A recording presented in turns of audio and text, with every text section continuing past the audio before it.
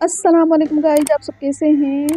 I hope आप लोग ठीक होंगे। अल्हम्दुलिल्लाह आप लोग की दुआओं से हम भी ठीक है। तो सुबह हो गई है और मैं दिखा रही हूँ अपने गाँव की हरियाली।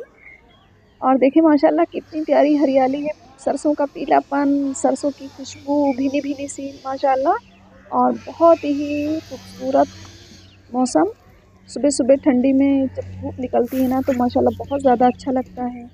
तो मैं मैं सोचा आप लोग को दिखा देती हूँ कि मेरे यहाँ की सुबह कैसे होती है। तो देखें माशाल्लाह। और मैं अपना गाँव भी दिखा रही हूँ कि मेरा गाँव कैसा है। तो सुबह सुबह मैं छत पे गई और आप लोग को दिखा रही हूँ। तो गाइस आज है बाईसवीं रजब और आज हम दिलाएँगे फातिया माशाल्लाह। हज़रत जाफ़र सादिक रज़ल्ला तनी का फातिया तो हम दिखाते हैं कि मैं कैसे कूड़ा मना, कूड़ा करती हूँ। और आप लोग कैसे करते हैं मुझे कमेंट में ज़रूर बताइए। मेरे गाँव में ऐसा ही होता है तो हम ऐसे करते हैं। तो और आप लोग भी बताइएगा कि आप लोग के यहाँ कैसे मनाया जाता है। बहुत जगह बहुत धूम से मनाते हैं, बहुत बहुत जगह मेरी तरह मनाते हैं। जैसे मैंने मनाया है और बहुत ही ऐसी जगह होती है जो बहुत ही कम मनाते हैं। तो पहले हम बना लेते हैं पूड़ी। तेल हीट हो गया और इसमें मैंने डाल दी पूड़ी। ये देखिए माशाल्लाह बिल्कुल फूली फूली सी पूड़ी बन रही है। और हम बनाएँगे इसके साथ ही कबाब और खीर और टिकिया रेसिपी मैंने मुहर्रम के टाइम मैंने दिखाया था कि हम कैसे टिकिया बनाते हैं, मीठी टिकिया। तो उसकी रेसिपी आप लोग देख लीजिएगा कि हम कैसे बनाते हैं। तो टिकिया मैंने बना ली है, मीठी टिकिया।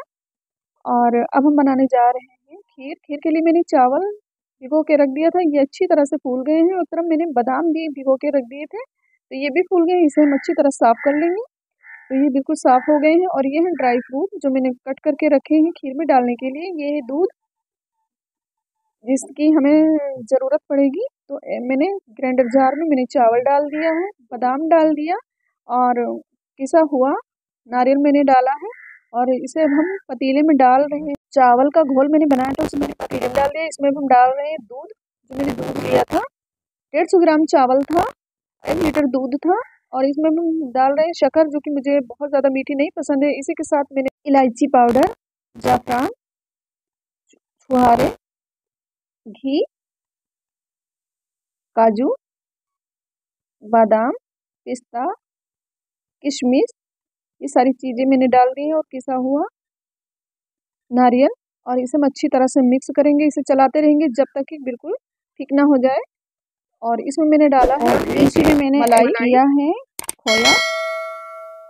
तो ये देखें ये बन चुकी है और इसमें फिर से डाल रहे हैं ड्राई फ्रूट किशमिश छुआरे किसा हुआ नारियल जाफरान किशमिश पिस्ता। ये सारी चीज़ें मैंने डाल दी। इसमें मैंने डाला है मीठा से जो खुशबू के लिए बहुत ज़्यादा ज़रूरी है क्योंकि फातिया में बहुत ज़्यादा ज़रूरी होता है खुशबू का होना।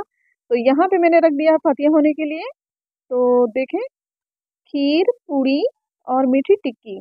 तो ये आप देख सकते हैं, मीठी टिक्कियाँ मिट्टी के बर्तन में मैंने रखे हैं और हम इस तरह से मनाते हैं कुंडा और फातिया ऐसे दिलाते हैं। तो आप लोग मुझे कमेंट में ज़रूर बताइएगा कि आप लोग कैसे कुंडा मनाते हैं, कैसे फातिया दिलाते हैं। अगर मेरी ये रेसिपी खीर की अच्छी लगी हो तो ज़्यादा से ज़्यादा शेयर लाइक कमेंट करना बिल्कुल भी ना भूलें।